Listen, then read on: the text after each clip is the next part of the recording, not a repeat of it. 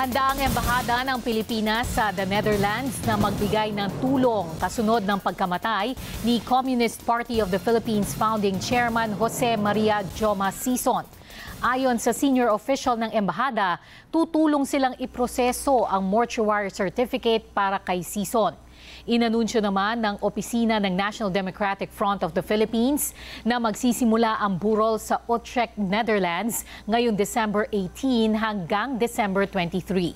Nakatakda ang cremation sa December 27.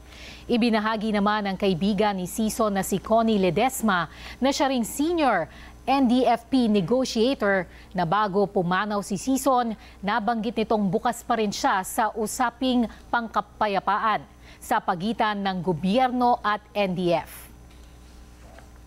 If there are peace talks, we continue with the peace talks. If not, we continue organizing, we continue uh, giving education sessions, we continue, uh, we continue our work.